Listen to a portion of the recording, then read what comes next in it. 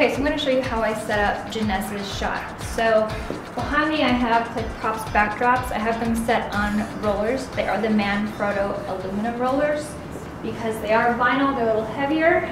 So up here I've got six up here, one on the wall. For hers, I used white chalk. Now, the reason why I used white chalk with her is because she's a hairstylist and makeup artist. She was celebrating her 26th birthday as well as her one year anniversary of being a cosmetologist. So she wanted to do a body paint, just artistic fun splatter body paint project. And I invited her to come over whenever she got inspired and let's shoot. So I like to just do a lot of impromptu shoots with some of my artists that I have as friends. So she set up and was getting painted and I saw lots of lots and lots of color. I'm more of a desaturated, gritty person. So when I saw that, I thought, well, let me do this white chalk background, which is a nice gray scale toned background to neutralize the background so that she would pop. So put that down and even though these backdrops are vinyl and they do roll out as a floor, she was using paints. I don't want to test paints on the backdrops. I've tested coffee grounds and let it sit there for hours and it came right out, but I don't want to test paint and I don't want to clean it. So um, I did, she did bring a backdrop or a, um, like a paint splatter piece of plastic and we put that down.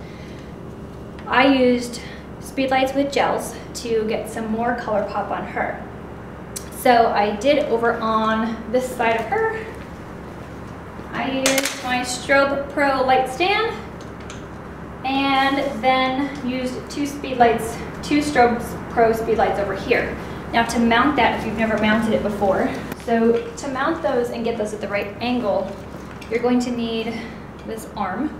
The arm goes on to the top of your light stand. Screw that down. The arm can also angle and move and so it can go wherever you want. So if I untwist this, now it can go where you want. So, okay, what do you do with that? You have another bracket. this bracket has the speed light mount, the shoe, the hot shoe. Put this on, and apparently took the little twisty guy off, so it's probably in my locker. Um, twist that on, lock it in. These just go on, now you can angle it wherever you need to. Boom. I put these on a 200 zoom. So these are awesome. They do have a zoom on it. I wanted to angle the light right at her. I didn't want a wide spread. I didn't want it splashing in the background. So on her back, I have, I believe it's blue on the back side. So I had two guys up here pointing down, and I had two guys on the floor right here. I don't get fancy and use stands unless I have to. Right here behind my husband, I've got crates. I know some of you were asking about these crates during the last article I shot. Just be crafty and call around, get on Craigslist. These are from Mexico. They actually brought cactus milk or juice over in these. They're very, very, very old. And I found out, cool story, they're actually used in the Latin Music Awards here in Las Vegas. So there are light stands, there are props, they're everything for me. They will give you splinters, so watch out. So I just put the little foot on here that comes with, and I put two more going this way, like this, going off this way at her. So she was here in the center. I've got lights coming up this way, so that's why you see the lights hitting her here. The lights coming this way. Her arms up overhead. She's got the curling iron here, and she's lit up from the sides. Now in the front, to light her face, I used, didn't use this modifier, but go right where you're at. So you always want to angle your lights down like it's natural sunlight. I did use their 20 by the original Strobe Pro Rapid, Rapid something. Anyways, it, it goes up really fast. It's a 24 by 36, so it's like a standard poster size. I had that up here. Let me open it up and show you. That I use a rag or a sleeve because you will slice your finger open, like I did the other day. These are cool because they just pop down, pop open or pop down like an umbrella. And the ring goes right on your strobe. That, I use a double diffusion if I want a softer light, a single for a little bit harder light. So with her, I use a double for a little bit softer light. Put that up here, 45 degree angle, no grids. As far as the settings for the lights, you have to play with your lights, see how they work, how powerful they are, what your ambient light is.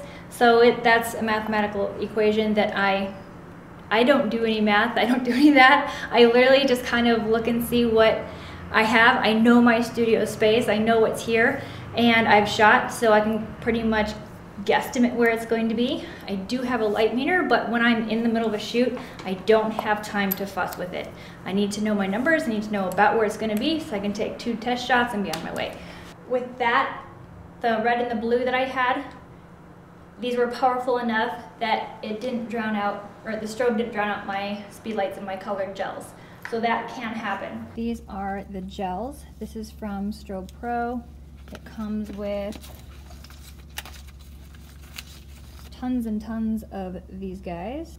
I also went on Amazon and I got four packets of these. They go on the top of the speed light. So they go on top of the speed light like this. So these are from Amazon, these are not Strobe Pro. And these go, you just attach it inside of there and inside of there. And that holds the gel like that. These Strobe Pro ones go on as a Velcro. They just sit on there like so. You can flip it on. I like that they go in the tracks. You don't technically need this, you just need the colors and gaffer tape works great on everything. Of course, it does start to bend your gels, but in a pinch, you can use it.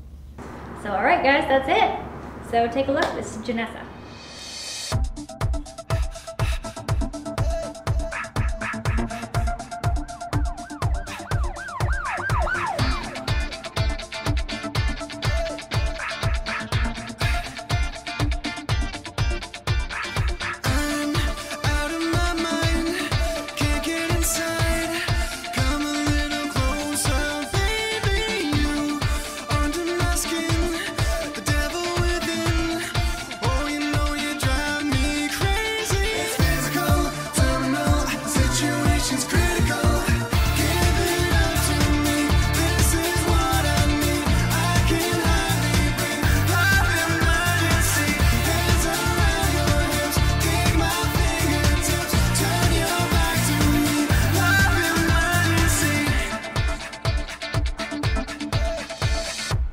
Say, with the rapid setup, if you're a first time buyer and don't know, I just happened to get lucky and get these instead of the ones where you have to put the rods through yourself. I didn't even know really that existed when I bought these and I got one of those like last year. I know you're like, you've been shooting and you don't know that? No, I did not know that. Got one in the mail and I was so irritated. it's just sitting on a shelf. I hate it. Make sure it's a rapid one and they pop up like an umbrella you're gonna chuck it in the trash in two seconds. You're gonna be so ticked off. So that's what all these are. This is a nice slim one. And this is great for long body lengths. You're gonna light up the entire body from the feet to the head and you're not gonna have light spreading everywhere. Um, my other favorite one, as long as we're here and talking, is over here.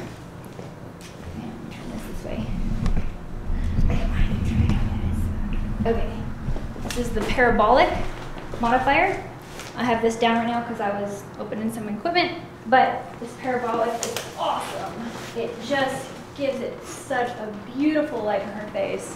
I believe this is a 42, uh, 48, 48 inch. So the deep parabolic is deep because I want to focus the light on her. Uh, I do have the really big, wide, like six and seven foot ones. Those are great for two Inch. inch. No, six or seven foot.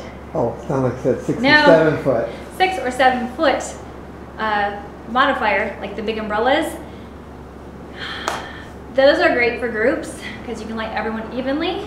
This is great for a single person shot, which is primarily what I shoot here is one single person in the shot and it's more of a beauty light versus a hard fitness or masculine light.